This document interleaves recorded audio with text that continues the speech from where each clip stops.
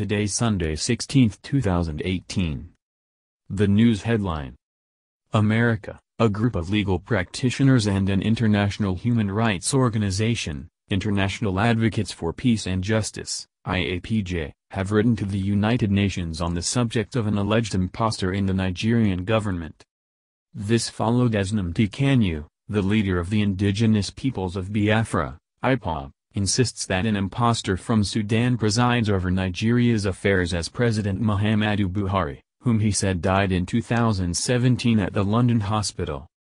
In a letter written to the United Nations, the group demanded an investigation on the issue, which they say, should not be overlooked because it is very sensitive.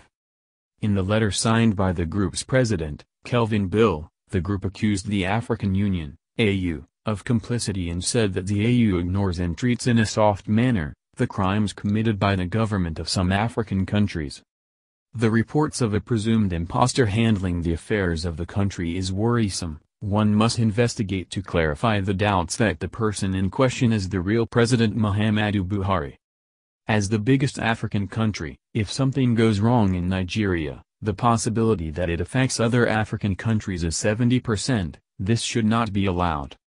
While we carry out investigations within the limits of our power, we demand that the United Nations also conduct an investigation to help solve the problem, part of the letter reads.